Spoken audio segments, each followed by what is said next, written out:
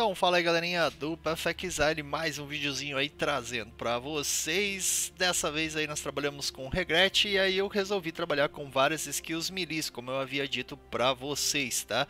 É, nós trabalhamos aí com Frost Blade, depois nós trabalhamos com Double Strike e agora eu entrei na Blade Flurry. Lembrando que essa árvore que eu uso, tá gente, é uma árvore bem genérica para é, builds melee que trabalham com Impale, Crítico, Sword e Dual Wielding, tá? Então tem várias habilidades que você pode estar tá brincando, pode estar tá remodelando, pode estar tá mexendo na árvore, caso vocês queiram para poder brincar. Mas a base da árvore, ela é bem parecida, ela suporta até ciclone, tá? Então eu vou testar um ciclone, testar não, né? Vou mostrar um ciclone dual wielding para vocês aí um pouquinho mais para frente, mas eu vou passar por algumas outras builds antes, tá?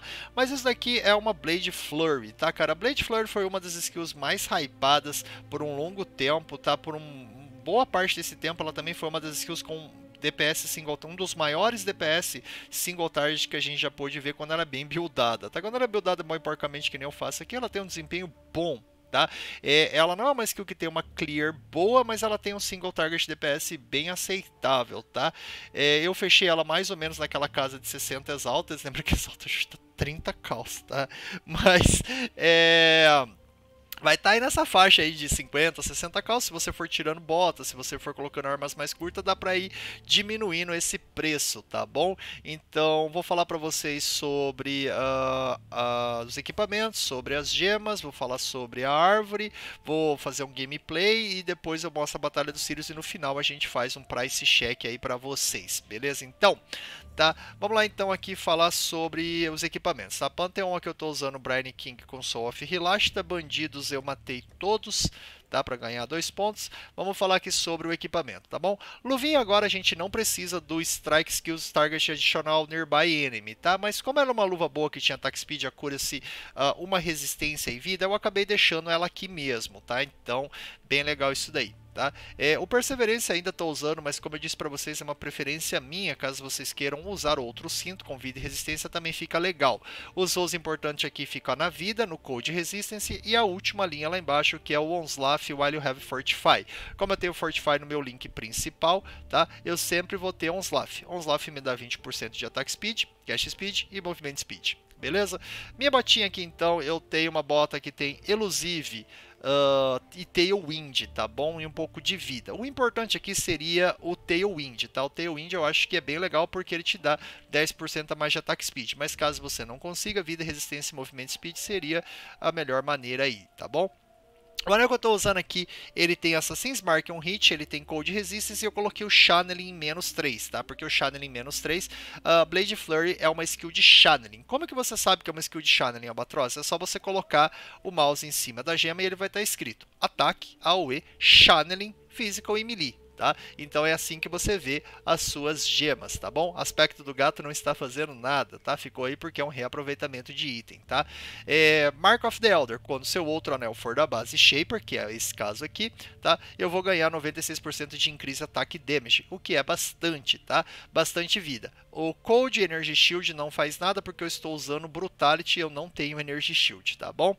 Uh, colarzinho aqui, então eu tenho Physical Damage Global Critical Global Critical Strike Multiplier, Fire Lightning, tá? Bem legalzinho, colarzinho bem tranquilo. E eu craftei, uh, coloquei de Annoyment o Lucidity para ter menos 3 de Mana Coach, tá? Só trazer até a Sister ah, Cass, colocar Annoyment, colocar o colar, você aperta Alt, tá? Em cima e você sabe qual óleo você vai precisar para pegar esse nodo no seu colar tá bom? Uh, capacete, tá? É, o encantamento legal seria Blood Rage ou até mesmo Blade Flurry uh, Increase Damage, mas eu acho que Blood Rage Attack Speed seria o melhor, tá? A única coisa que você precisa pegar nesse capacete é o menos 9 Physical Damage, tá? Nearby Enemy Stake 9%, Increase Physical Damage. É o melhor roll que pode pegar aqui. Se vem vida, resistência, melhor ainda. Base Elder, item level 85, tá gente? Não esqueça, item level 85, senão não roda, tá bom? Eu uso duas foils de 450, uma tem 450 e uma tem 470, mas 450 seria o suficiente para você poder estar tá fazendo conteúdo do jogo beleza? Blood of the Karui, uma poção de mana. Eu sempre gosto de trabalhar com um pouquinho com a minha poção de mana para recuperar a minha mana, tá? Diamond com Bleeding e um Sulfur aqui com Freeze e um Lion Sword para aumentar o meu melee physical damage, beleza? É bem tranquilo essas questões aí, beleza? É, gemas, tá? Lip Slam, uh, Faster Attacks, Blood Magic e Fortify para eu poder me movimentar e sempre ter Fortify. Se você quiser tirar o Fortify porque você tem Fortify na árvore, colocar o Endurance Charge ou Melee Stun, fica bem legal tá bom? Uh, auras, eu estou usando Pride, uma Enlighten level 4, mas você pode usar uma level 3, tá? Uma Dread Banner e uma Blood Ascend, tá? Blood Ascend como que funciona? Instância amarela eu vou ganhar mais área, tá? E menos dano. Na instância vermelha eu perco área e ganho mais dano. Tá Bom, é assim que funciona isso daqui. Instância amarela eu uso para mapear, instância vermelha eu uso para matar boss. Ela é uma skill archetype, então você pode trocar de instância bom? Aqui em cima aqui eu tô com Second Wind, Enduring Cry, Increase Duration e uma Precision Level 8, tá? Precision level 8. Por que level 8? Porque senão eu vou ficando sem mana, tá bom? Uma coisa muito importante quando vocês forem jogar com skill melee é a sua chance de acertar o bicho, tá? Acima de 95, tá bom, gente? Então tomem cuidado quando vocês não estiverem jogando de Resolute Technique se preocupa muito com a sua cura. Se tem que ser acima de 95, tá?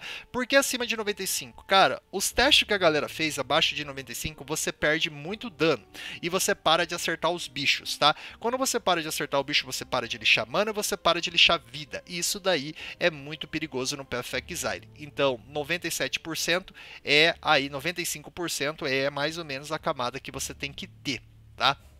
Fiquem bem atento com isso daí também beleza? É, nas minhas armas aqui eu estou usando o Ancestral Artif com múltiplo Totes e Cooling Strike, ele buffa meu DPS, tá bom? Isso aí é uma skin, tá? E aqui eu estou usando Berserk, Blood Rage e Enhance, tá bom?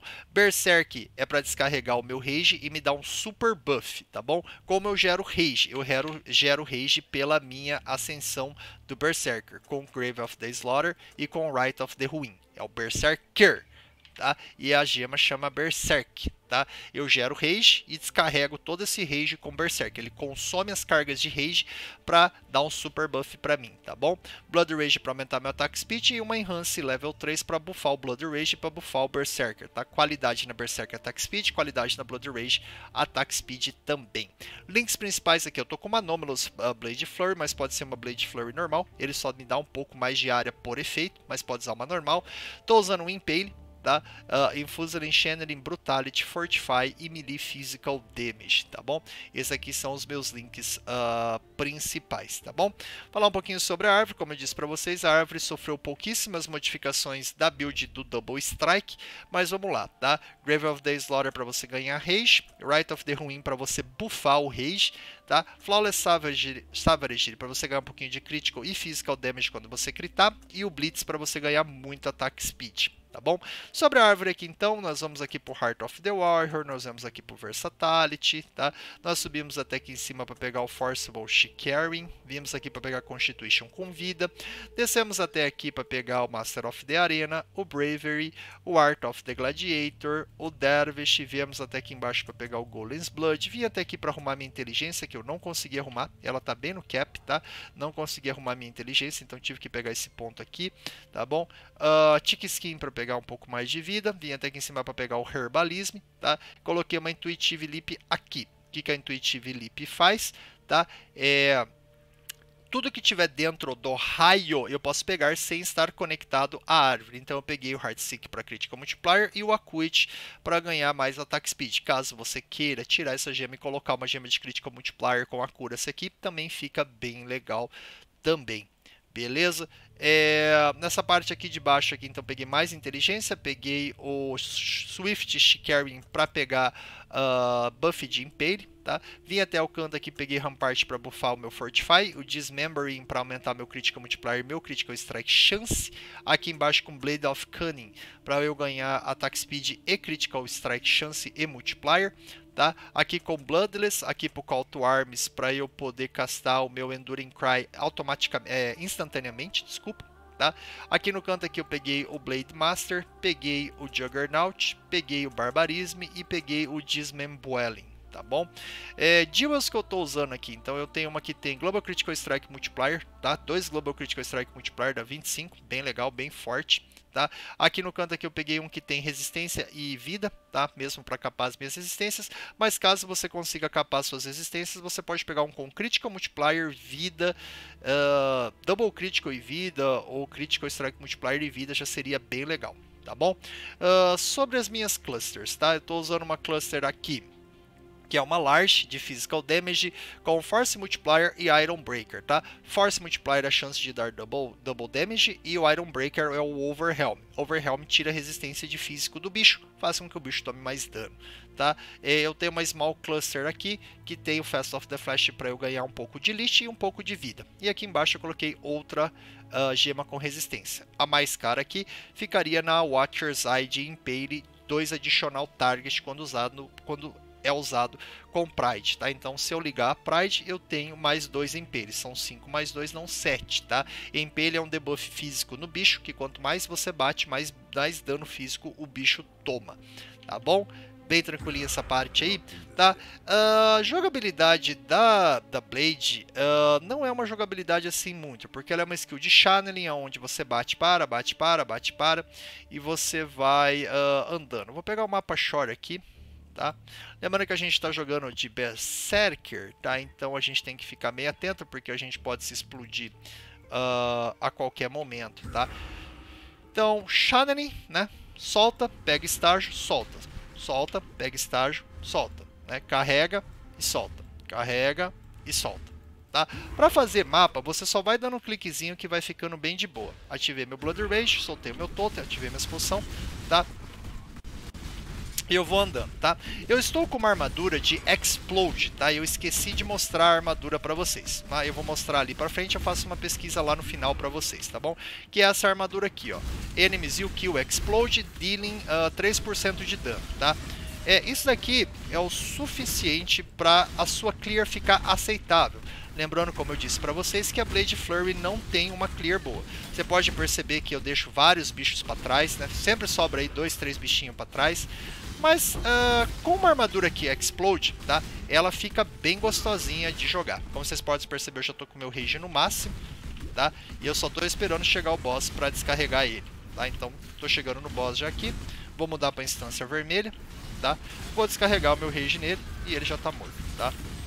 É bem interessante a Blade Flurry, tá? Como eu disse para vocês, o single target de DPS dela é bem alto, principalmente se você combar com o seu Rage e descarregar com o seu Berserk, tá? Fica bem interessante isso daí, tá bom? Então eu estou usando uma armadura que explode, tá bom? Com Fire Lightning, mas o mais importante é o Enemies You Kill Explode dealing 3% of their life as physical damage. Traduzindo, todo inimigo que eu mato, ele dá 3% da sua vida e faz uma explosão. Isso daí ajuda muito na hora de você limpar um pack, tá? E isso é bem interessante nessa build aí tá bom? Mostrar a batalha aqui dos Cirus para você. Eu acho que eu morri duas vezes de besteira, né? O que fica meio que a caráter de exemplo que, independente do tanto que você conheça a batalha dos Cirus, tá? Independente do tanto que você conheça a batalha dos Cirus, uh, às vezes você acaba morrendo, o que é normal. Tá? Mas você tá vendo que? Eu vou batendo, vou descarregando, vou batendo, vou descarregando, vou batendo, vou descarregando, né? Você tem que estar tá se posicionando certo, né? Carrega, solta, carrega? Aí eu fui desviar aí. Eu acho que eu vou morrer na hora que ele vai dar um blink, que eu não vi direito para onde... Aí, ó. Eu morri aí que eu não vi na hora que ele blinkou. E aí acabei morrendo. Aí eu falei, ah, eu achei que ele tava em cima, né? Mas uh, me confundi, tá? Mas é normal, é às vezes. Não esquece que na hora que você voltar para a batalha de você ativar as suas auras, tá? É, eu vou deixar o peixe bem para vocês poderem também dar uma olhada caso vocês queiram, mas eu acho que eu morri mais uma vez nessa batalha, tá? É, pra galera, né, gente? Vocês que são softcore, nós que somos softcore, cara, morrer é normal, tá? Se você não quer morrer, joga, uh, joga hardcore, tá? É, pelo menos eu penso desse jeito, né, cara? Ninguém é obrigado a corroborar com o meu pensamento, tá? Mas assim, cara, a vantagem que você tem é que você pode morrer. Não que você queira ficar se suicidando, tá bom? Mas você pode morrer uh, tranquilamente, tá? Você vai ver a cagada que eu vou fazer aí, ó. Né? Eu vou dar um jump, aí eu vou estar tão rápido, tão rápido que eu vou pular em cima do debuff, velho. Aí, ó, pulei em cima, eu dei dois jump, né? Eu tava tão rápido que eu pulei duas vezes, né? É, isso daí é costume, né, gente? Às vezes você vai spamando o botão, velho, e aí acabei pulando uh, em cima do debuff. Tá vendo que eu tô na instância vermelha, né? Mas acontece essas brincadeiras, né, gente? Tipo assim, não era intencional eu pular ali não, mas eu pulei, né? É, de tão rápido que você fica, cara. Se você é muito rápido, velho. O Berserker é muito rápido, né? É, eu não sei se a Raider chega a ter um ataque speed igual do Berserker quando ele tá full, uh, full buffado, mas, uh, mano, ele é muito rápido, cara. Né? Acaba até sendo engraçado. Como vocês podem ver, o DPS é fantástico da Blade Flurry, né, cara? Não tem, né? É, não dropou nada, né? Esse é o loot do Sirius que a gente fala pra galera, né? Então a galera diz, ah, mas é eu vou perder meu. Esse é o loot do Sirius. Tipo, normalmente não dropa nada tá? Vamos fazer uma pesquisa aqui com vocês, tá bom? Então, Gloves agora, tá, gente? O mais importante seria você estar tentando trabalhar com um pouco de Acuras, tá bom? Uh, life, tá? E duas resistências, tá bom, gente? Seria, assim, o, o mais importante nessa luva para vocês. Se vocês quiserem pegar ataque speed, tá bom? Aí ela vai ficando um pouco mais cara, tá? Então, vocês têm que ver o que, que seu preço aguenta... Hã? Mas existe assim? Deixa eu ver aqui. Deixa eu ver, 40, 40, deixa eu colocar 20, 20. Aí, tá bom? Vocês podem conseguir algumas luvinhas aí desse jeito aí, não custa muito caro e é bem legalzinho e vai ajudar vocês bastante, tá bom? Uh, sobre a bota, tá bom? Sobre a bota aqui, eu já vou aproveitar esse, essa search, eu só vou colocar aqui movimento speed, tá bom? Pelo menos uns 25 de movimento speed, tá? Se você adicionar o Tailwind, tá, gente, é melhor você tirar uma resistência, vai ficar super caro, tá? Mas dá para brincar. Ó, essa daqui tá linda, cara. Essa daqui tá bem bonita. Por 14 exalto, que exalto não tá valendo nada, né? Tá bem bonita por sinal, tá bom? É... O belt, tá, que eu tô usando aqui, deixa eu atualizar aqui. O belt que eu tô usando é o Perseverance, tá bom? É o Perseverance. Lembrando que só o roll de vida, code, que é o que interessa, tá? Tenta pegar o mais alto possível, mas você também pode estar trabalhando com um cinto raro, tá? A gente não tem nenhum problema. Você pode pegar um cinto aí, por exemplo, com 120 de vida, por exemplo, Cold Lightning alto, que vai sair num preço bem acessível, né? Eu coloco resistência, tá, gente? Mas vocês colocam Cold Lightning aí do jeito que vocês quiserem, tá? É, vai sair aí uma merreca, tá? Com muita vida, ó, muita vida e resistência, tá bom? Caso vocês queiram aí, tá bom? O anel, tá? O importante é que tenha o Assassin Mark, tá? O Assassin Mark é sempre o segundo aqui, tá? Ó. E aí, se você colocar vida, resistência, o negócio vai ficando ao infinito, tá, gente? Então tomem cuidado. Mas o, o Assassin's Mark é o mais importante, tá? É, o outro anel meu é o Mark of the Elder, tá? Eu gosto muito do Mark of the Elder, gente, porque ele é uma versão barata que dá muito DPS e ele é fácil de pesquisar, tá? Você pode estar tentando trocar por um Steel Ring que tenha muita, muito DPS, a cura e resistência também. Mas eu acho que o Mark of the Elder ele encaixa muito bem aqui, tá bom? Amuleto, tá bom? O mais interessante aqui para você aqui agora vai ser o Critical Strike uh, Multiplier, tá? Com o máximo de ADD Physical Damage que você conseguir colocar. Tá? Então, o máximo de ADD Physical Damage assim que você conseguir colocar. Caso você queira, você pode estar colocando não corrompido aqui, tá? Que ele vai filtrar, tirar basicamente todos os talismãs, tá? Ó, e já fica bem legal aí para você poder estar tá montando, tá? Capacete, tá, gente? Você pode fazer algumas variantes, tá? Então, se você quiser um capacete só com encantamento de Blood Rage, por exemplo, tá? Com Attack Speed, não é tão caro. Tá? Se você for pegar um capacete uh, item level 85 da base Elder com o encantamento, vai, uh, não tem nenhum, para falar bem na verdade. Né? Não tem nenhum para falar bem na verdade, tá? Então você pode tentar estar tá pegando Blade Flurry, talvez. Deixa eu ver aqui, Blade Flurry Increase Damage. Uh, também não achou nenhum Blade Flurry também. Hum, tá?